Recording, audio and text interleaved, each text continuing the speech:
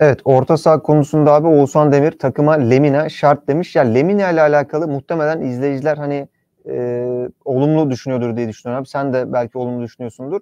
Ya tabii ki son dönemi olumlu düşündürecek seviyede oynuyor oyuncu. Burada problem yok ama Lemina deyince hep benim aklıma Galatasaray'da sürekli o e, hani e, bacağını tutuyordu ya abi maç içerisinde. Hep o anlar aklıma geliyor ve nedense böyle Lemina'ya karşı bir güvensizlik var. Yani benim içimde Galatasaray'daki o aldığı süre boyunca yaşadıklarından dolayı. Hani bilmiyorum tekrardan böyle bir e, transfer olur mu gerçekleşir mi? Olursa faydalı da olur ama hep o e, sakatlık durumunu bence değerlendirmek gerekiyor. Sana bu açıdan katılıyorum. Lemina çok iyi bir profil. Bu sezonda güzel dönem geçiriyor ama e, yani çok güvenip yola çıkamazsınız. Yedeklemeniz de lazım. E, Lemina devre arasında alınacaksa o zaman iyi bir hamle olabilir tabii elin Dombele'ye ama burada mali şartlarını bilmediğim bir iş içinde e, konuşamam tabii ki. Yani orada e, Berkan geri döner mi? Lemina döner mi? Çok fazla da şunu sevmiyorum. Yani eskiye dönmek, eskiden bizde iyi oynamıştı, kiralıktı vesaire. Dönem öyle işlemiyor. E, Lemina'nın o iyi döneminin üstünden Galatasaray'da biraz vakit geçti. Yani yeni oyuncu yok değil piyasada. O yüzden hani biraz daha yenilik, biraz daha e, denenmemişi denemek bazen daha olumlu sonuçlar doğurur. Bu arada izleyicilerimize e, bir konu hakkında teşekkür edeceğim. Az önce bir beğeni duyurusu yapmıştım ve beğeniler gelmeye başlamış. Çok teşekkür ediyorum. Beğenilerin devamında bekliyoruz. İzleyicimiz Tümay e, Bey şöyle Lemina sakın sakın demiş o meşhur video ile alakalı yazmış. Onun dışında yine yorumlara döneceğim. E, bu arada abi hani eski oyuncuların dönmesi deyince aklıma geldi. Çok fazla konuştuk. Mesela Onyekuru'yu hatırlarsın Adana Demirspor'a gelmeden önce sürekli Onyekuru konuşuluyordu. İşte Jason Denayer yine bir dönem çok konuşulan bir isimdi. Taliska yani sadece Beşiktaş'ta oynamasına rağmen tüm takımlarımız için yine konuşuluyor ki yine az önce yorumda da gördüm bir izleyicimiz kiralık olarak Taliska olur mu gibisinden bir yorum yazmıştı. Hani bunu bence bence de bu arada katılıyorum yani senin yorumuna. Biraz bırakmak gerekiyor. Tabii bir fırsat çıkar. Kendini ispatlamış bir oyuncu burada tekrardan kadroya katılabilir ama futbol piyasası çok büyük bir piyasa. Binlerce, on binlerce oyuncu var. Hani birazcık bence e, farklı noktalara da gitmek gerekiyor diyebilirim.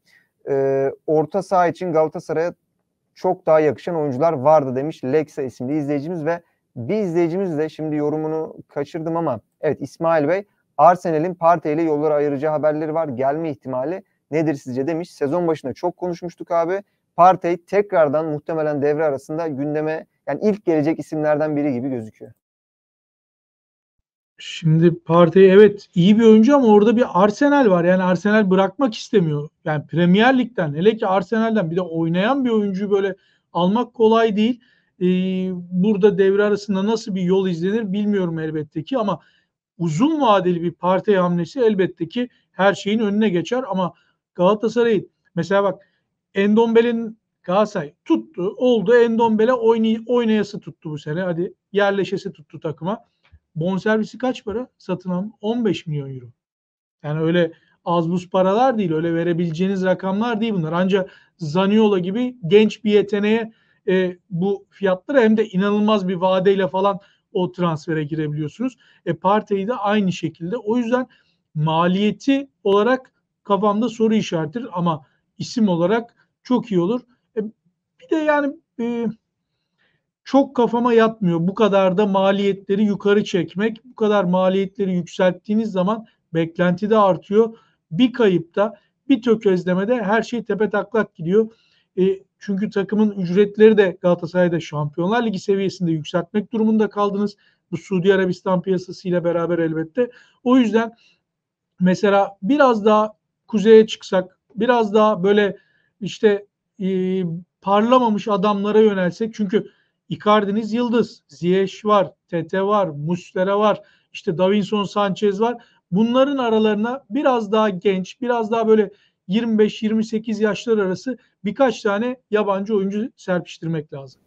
Evet şimdi yayının sonuna doğru geliyoruz bu arada bunu aktarayım ve abi şöyle son soruyu veya son soruları alıyorum. Onur Cihan e, Dündar şöyle yazmış. Gazeteciler olarak Icardi'nin formsuzluğu hakkında neden soru sorulmuyor? Icardi'ye top neredeyse gelmiyor demiş. Ya hatta ben buna bir şey daha ekleyeceğim abi soruyu sana yöneltmeden. Icardi'nin sözleşmesinde her maç 90 dakika sahada kalır maddesi mi var? Neden bu oyuncu bu adam kenara gelmiyor. Galatasaray çünkü yani hem kendine hem de Galatasaray'a katkı sağlayamadığında bence birazcık kenara gelmesi gerekiyor diyebilirim.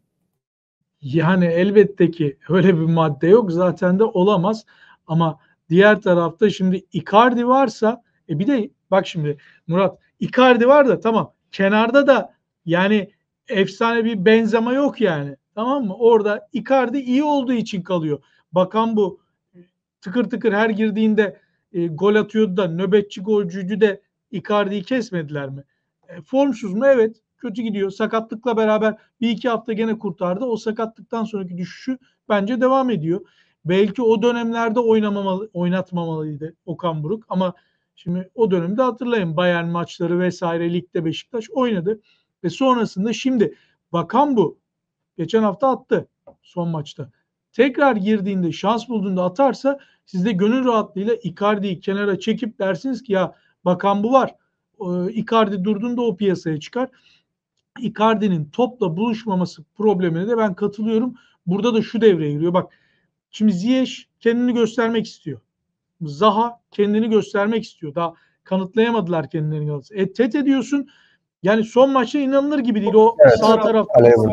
Niye? Kendini kanıtlama isteği, forma bulma isteği. Bunları dizginlemekte teknik eğitim görevi. E diğer tarafta hatırla Kerem solda oynarken sadece Icardi'ye çalışıyordu. Şimdi forvet arkası oynadığında da öyle yapıyor ama yani o yüzden biraz daha mantık çerçevesine bazı şeyler inmeli. Bir ilk 11 oturmalı. Ziyech tamam, Zaha tamam.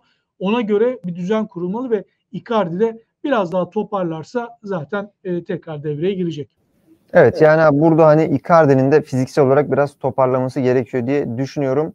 Ee, güzel, keyifli bir yayın oldu. İzleyicilerle birlikte interaktif bir yayın yaptık. Eklemek istediğim farklı detaylar varsa alabilirim abi. Yoksa yavaş yavaş yayını sonlandırabiliriz. Benim söyleyecek bir şeyim yok. Teşekkür ediyorum herkese katkılar için. Yeniden görüşmek üzere.